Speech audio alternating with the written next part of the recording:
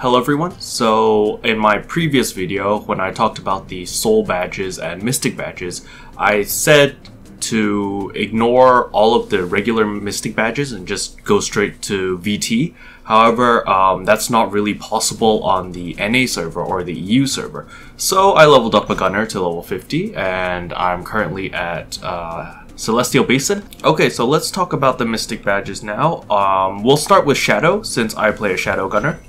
So over here you can see there is the Revelation Mystic Badge and the Pulse Mystic Badge for the Shadow Gunner. So what's the main difference? The main difference here is uh, the Revelation is when you use your C skill, which is Moonshine, for 8 seconds you deal 50% more damage for your Dark Shot and Bullet Storm, which are both your right mouse button.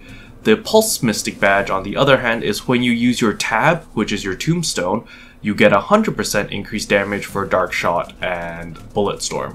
So, if you have the resources, go Pulse. If you don't, it's not the end of the world, you can still go Revelation.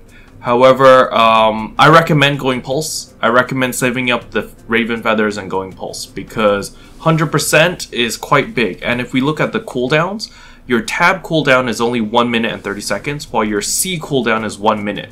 So there's only a 30 second difference, but you're getting a 50% damage increase.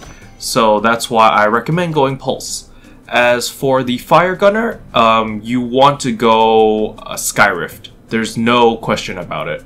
The main reason is because during Skyrift, you do so much damage with your uh, Bullet Storm or your F skill, and this increases your damage by 650% for the first hit.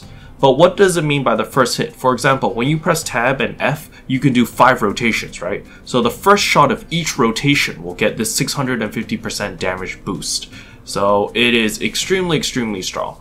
Um, the reason why I don't I don't recommend going Enigma is because um, it's only a hundred percent damage increase, and when you use your C skill or Firefall, you can't really shoot that often anyway. So, you know, your main big skill, your big damage skill, is your tab and F. That's why I would stick with the Skyrift one. Anyway, um, I hope this video helped. Just wanted to, you know, update the Mystic Badge situation on the NA and EU server. And yeah, I'll see you guys next time. Bye bye you're welcome for the